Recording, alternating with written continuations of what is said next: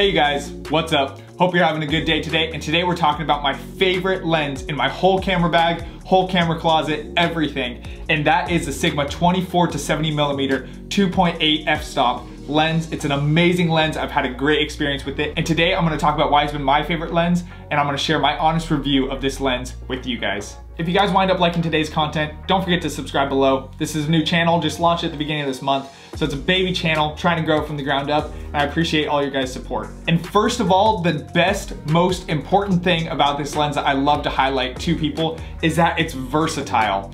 What I mean by that is that it's a 24 to 70 millimeter range and it's a constant 2.8 aperture.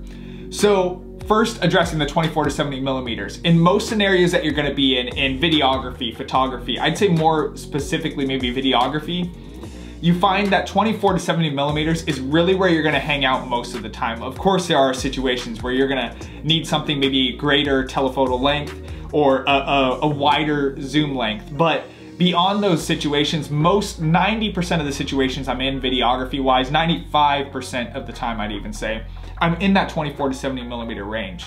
So 24 to 70 millimeters is a very solid, consistent, safe um, zoom range to land yourself within. So if you're looking for one lens to be a one and done lens, this is definitely the focal range that you wanna be sitting at. And so that's one of the biggest reasons why I recommend this lens. Now, beyond that, what's even more important to me is not only to have a good focal length, but having a good aperture, a good minimum aperture and a 2.8 constant aperture. So I'll highlight a little bit of why that's so good for, for people who are looking in video and photography professionally.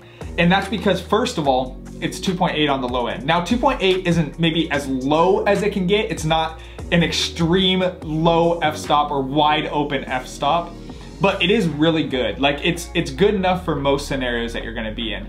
Most of the time, as long as you have a decent camera, I find that 2.8 handles noise plenty well enough and gives enough shallow of a depth of field to where I don't feel like I need you know, too much, too much less than that or too much more shallow of a depth of field. This camera shot right now is being shot on the Sigma 24 to 70 and it's at a 27 millimeter focal length, which is pretty wide. And so you don't expect a lot of shallow depth of field in it, but yet you can see the background behind me is blurred enough to where it still makes me stand out. And so at 2.8, you can see even at wider focal lengths, you're still getting a good amount of depth of field or enough for a lot of scenarios I would argue that you're gonna be in. Now, what I mean beyond just 2.8 as being a great f-stop number is that it's constant. And constant is important because it doesn't change and go up as you kind of zoom in or zoom out. Mm. It's constant 2.8 throughout the whole focal length. So that does kind of two things. First of all, what that does for you is it gives you a reliable number that you know you can stop down to every time, no matter regardless of your focal length. Now beyond that, what I really like about a constant 2.8 aperture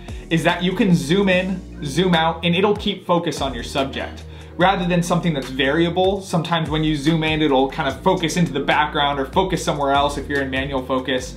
Uh, situations like that, this will keep your focus locked in where it's supposed to be. So for me, that's really important because if I'm zooming in really quick into a subject, maybe during a wedding that I'm shooting or during a film that I'm shooting, I wanna be able to know that my focus is gonna stay where I have it landed and not gonna be adjusting as I'm doing that zoom. So the second thing I really love about this lens is that it has a very buttery smooth zoom and focus ring. And for me, that's really important because first of all, with focus, I'm a manual focus shooter. I usually 99% of the time I'm using manual focus. So I need something that I can very fine tune, not feel like, like it's putting, you know, a ton of resistance against me or kind of hiccuping as I'm kind of turning that zoom focal distance that I'm locking into.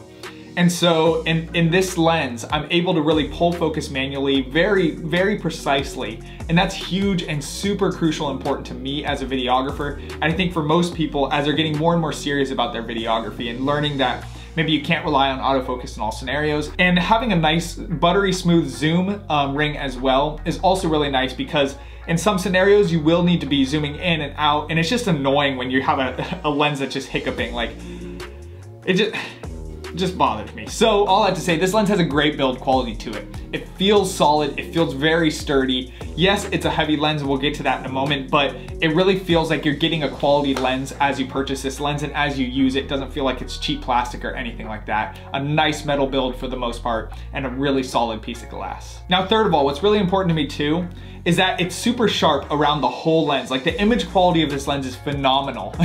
I think Sigma just in general does a great job in their lenses of creating really sharp, really tack sharp lenses. That retain image quality and really retain this quality piece of work in their glass in a lot of lenses I've used, for example, like let's take a really bad lens as an example, as maybe like the Canon 50 millimeter 1.8. It has horrible image quality in the corners. Like it looks, it can make you puke. It's so bad. Like it just looks like it's all blurred, all streaking. But in this lens, I find very little streaking, very little blur in those corners when I don't want it to be. Of course, there's gonna be shots where you have that out of focus and stuff, but when you wanna keep a sharp, you know, steady look throughout the whole image, it really keeps up that, that quality. And I think it really sells this lens as being an overall really good lens.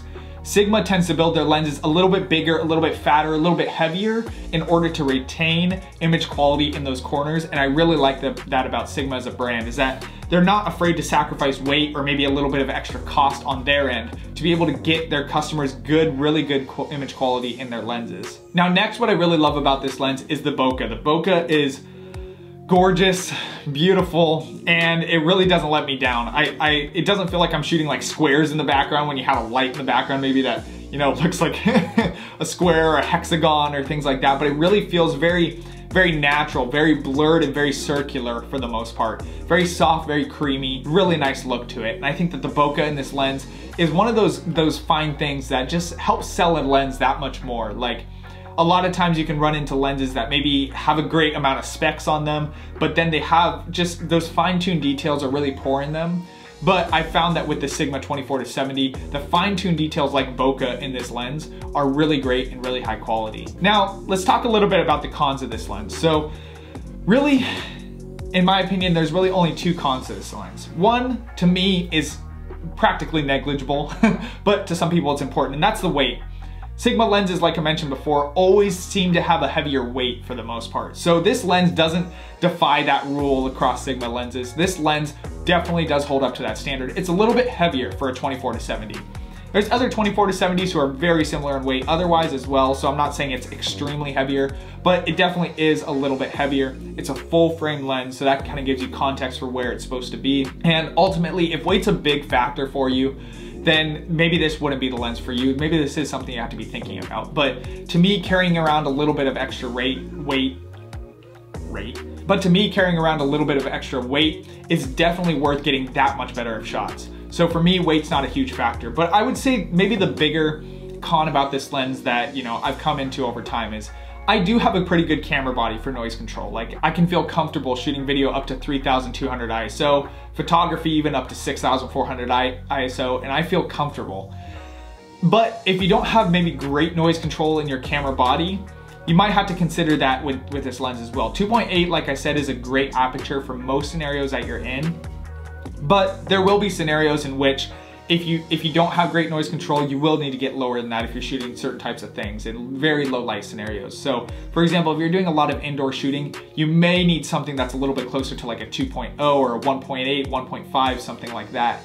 And so I think just being aware of that, being aware of your needs and what you need as a photographer or videographer, and just your camera body and where you're coming from, uh, will, will help you succeed in terms of picking the right lens for you. But if that is a low enough f-stop for you, I really can't find an argument against this lens, honestly. Like, it is better than every other lens I've ever used out there for the price point. I mean, this lens comes in at a little bit over a $1,000 and for every other, you know, Canon 2.8, uh, 24 to 70, you're paying 1,700 or Panasonic's, you know, Native One, $2,000, stuff like that. This one is just as good in my opinion in terms of image quality. And so for me, there's really no downside to getting this lens as opposed to those many others. It's usually like half the price of on brand 24 to 70 Trinity lenses that are 2.8s. This is a great lens. I can't recommend it enough.